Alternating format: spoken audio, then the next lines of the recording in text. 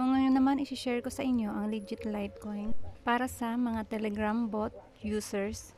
Sa mga wala pa nito, panoorin nyo lang ang aking video. I-search lang ang link and then click start. Paulit-ulit lang tayo magbi-visit ng sites dito para maka-earn ng Litushi. So, ito yung dashboard at itry na nating mag-visit ng sites. Then, meron itong timer. Wait lang natin na matapos ang timer. So, ayan, naka-earn ako ng 72 Litushi. Magbibisit lang ulit ako upang makaipon ako ng, ng minimum amount para maka-withdraw. Okay, so ngayon naman, itatry ko mag-withdraw. Ang gagamitin kong wallet address dito ay ang LTC ng CoinPad.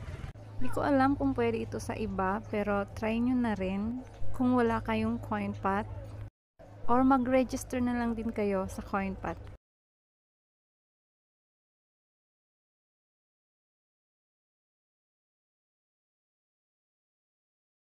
Okay, so need lang natin i-click ang confirm to confirm our withdrawal. Ayan, successful ang aking withdrawal. So, iti-check ko naman siya sa aking CoinPad kung pumasok na talaga siya.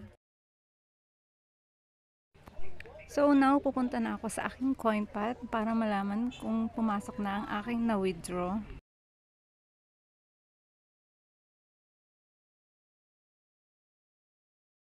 So, ayan na nga. In a few minutes lang, pumasok na siya.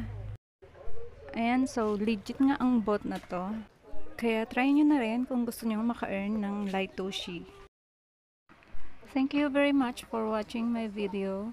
Please like, subscribe, and click nyo na rin ang bell para ma-notify kayo sa mga earning tips ko.